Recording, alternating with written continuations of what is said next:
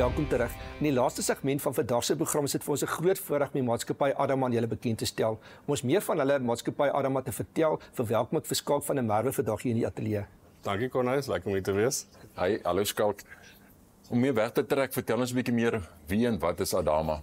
Ja, so Adama is 'n landbouchemiese vervaardiger van hoofsaaklik uh, plaagbeheermiddels soos onkruiddoders, insekdoders, swamdoders en uh, die maatskappy het 'n baie lang geskiedenis. Ons het begin eintlik as twee maatskappye. Ja. Ehm um, en ons is 'n uh, ons is 'n Israeliese maatskappy. So in 1947 is 'n maatskappy Agan gestig in in Israel en in 1954 Magteshim. Uh hulle het apart ge, gefunksioneer en in 1998 het hulle saamgesmelt en Magteshim Agan gevorm en toe in 2014 het die naam verander na Adama toe wat die Hebreëse woord is vir grond en uh, ons het ook uh op so 'n paar jaar gelede deel geword van die Syngenta groep maar as 'n totaal unieke entiteit binne dit en in Suid-Afrika is ons reeds uh, aktief in die land sedert 1998. Ja, nee, dis lekker mondvol. Eh, ek kyk ja, ek wil net eers sê ons werk ongelooflik lekker met julle saam. Dit is dit is wel die die hele die kaliber van mense, die hulle kundigheid, ja. uh, menswees is dit is net so lekker en uh, digitaal word wys dit ook. Maar vertel my, ek het gehoor uh, van die nuwe app wat julle mee besig is. Vergewe 'n bietjie meer inligting daaroor. Ja, so ons wou net 'n die basiese doel van die app was net om ons etikette maklik beskikbaar te maak vir ja jy weet landbouchemiese verspreiders en boere want veral as in die veld is en so en in die soek etiket om dan op jou foon ja, nee. op die internet te gaan soek is moeilik. So dit was die basiese funksie maar ons besef dis nie genoeg om mense jy weet te hou op die app ja, wendig nie. Ja. Ehm um, dit het ook 'n paar ander funksies bygesit. Die een funksie is die weer funksie waar jy uh 7 dae vooruit voorspelling kan kry en uierliks en jy kan ook jou lande of verskillende plase of so stoor op die app en dan gee dit ook vir jou 'n indikasie of die weerstoestande goed is om 'n uh, produk toe te dien of nie. So jy kry as jy eerliks kyk 'n groen of 'n oranje of 'n rooi uh, bar daaronder en natuurlik die rooi beteken dis nie goeie toestand om te spuit nie. Groen en oranje is is uh, is okay. Die systems gaan. Ja, ja. Dit gaan dan sê vir my daar's baie gewasbeskermingsmaatskappye wat oplossings aanbied, maar wat maak julle anders as hulle?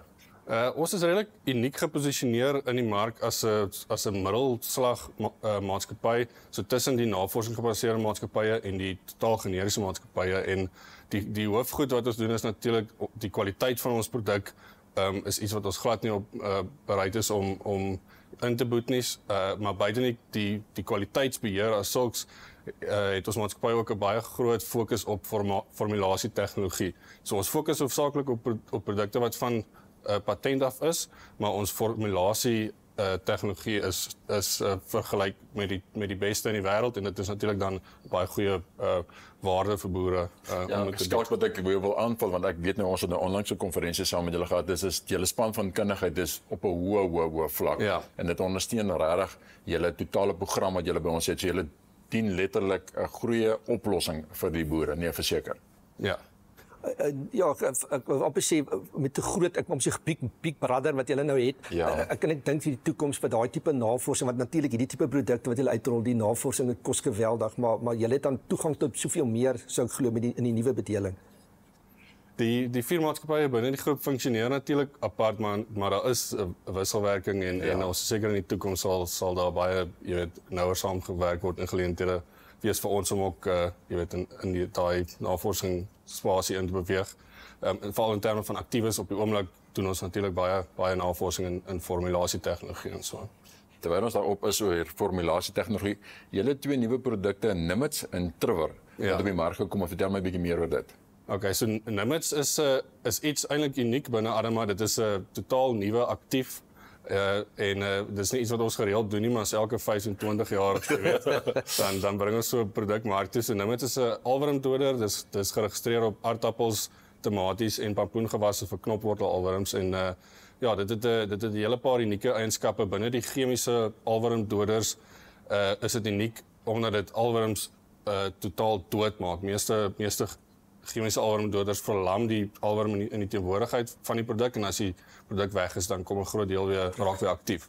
Met Nimitz na 24 uur 48 uur is alle lewensstadiums van wow, die knopwortel okay. alworm is dood en natuurlik jy weet maak dit die effektiwiteit van die produk baie goed. Ja, en buite nie natuurlik die die unieke uh, metode van werking, daai unieke eienskap uh, is 'n ander groot voordeel. Dit het 'n redelike goeie uh, toksprofiel, so dit is uh, baie selektief net vir plantparasitiese nematodes. Dit het geen effek op voordelige nematodes waarvan natuurlik baie in die grond is of insekte in die grond of swamdoders of swamme in die grond. So as jy byvoorbeeld wil uh, jy weet jy plant aardappels en jy wil trichodermas of iets soos dit ja, in plant voorsit, dan uh, nimits gaan gaan geen nadelige effek op daai tipe produkte hê nie. So as grondgesondheid belangrik is, pas nimits baie goed in omdat dit baie selektief is net vir plantparasitiese nematodes en dit is ook 'n 'n blouband produk so in terme van veiligheid vir die toediener en so aan het dit ook 'n baie goeie profiel. Skalk maar voordat jy vergeet, vertel ons ook oor Trivor asseblief. Ja, Trivor is 'n 'n nuwe produk wat ons laas jaar ook of 2 jaar terug op die mark gebring het en is 'n baie goeie voorbeeld van van wat ek vroeër verduidelik het van wat die tipe produkte wat almal op die mark, mark wil sit. So dis 'n mengsel van twee aktiewes, acetamiprid en periproxyfen en is geregistreer op op sitrus vir uh, witluis, blaaspootjies en rooi dopluis en ja. op wingerde vir witluis. Nou vir al sitrusboere sal die twee aktiewes waarskynlik baie goed ken, maar ons het dit saam gesit in 'n mengsel wat natuurlik uh, totaal uniek is en dit dit is baie goed geskik vir jou blomkompleksspuite. Maar boonop dit is dit 'n DC formulasie wat 'n baie unieke formulasie is. Ek het nog nie aan een teëgekom in Suid-Afrika nie. Uh en en wat dit bied is die eerste uh, voordeel is gewasveiligheid as gevolg van die benatters en swaan wat binne in die formulasie gebruik word. En die ander voordeel is 'n produk soos Pyriproxyfen is glad nie goed oplosbaar in water nie wat dit moeilik opneembaar maak vir die plant om sodoende, jy weet, die die insekte te beheer, maar hierdie formulasie maak uh Pyriproxyfen baie meer oplosbaar in water en dis baie meer opneembaar deur die plant en dit maak die werking beter, dit maak die nawerking beter. So die produk saam al is die aktiewes bekend, die produk saam met die formulasie, jy weet, bied iets totaal uniek skak um, ons sit immers hier in 'n nisboer ateljee uh, enige raad uh, van jou kant af vir vir opkomende boere klein nisboere ja ek ek dink iets wat wat baie sal help is vir 'n opkomende boer om vir hulle self 'n mentor te kry ja. wat hulle kan help jy weet om om jy weet goeie advies te gee en dalk van die mentor se foute wat hy reeds gemaak het uit te leer en nie weer ja. te maak nie of selfs verskeie mentore ja. en ek dink die ander ding wat wat ook belangrik is veral as jy begin as jy waarskynlik baie gefokus op die produksie van jou boerdery, maar jy moet ook dink aan die bemarking kant. So veral as jy baie kontant ja, as jy kontant gewasse byvoorbeeld groei, gaan kyk na wat waarvoor is daar 'n mark, kyk of jy dit kan groei. Eerder as om net te fokus op die produksie dalk van gewasse waarmee jy gemaklik is of wat jy verkies om te boer. Dit is kalk jy verskillende dankie dat jy kom inloer dit. Jy het 'n pyp besigheid, uh, regtig ek sê dit om jou uh, te vlei die maar 'n pypspan mense met wie is lekker oor die weg kom. Ons is opgewonde oor die pad vorentoe en ja, sukses vir die seisoen. Ek hoop dit gaan 'n lekker seisoen wees. Baie dankie.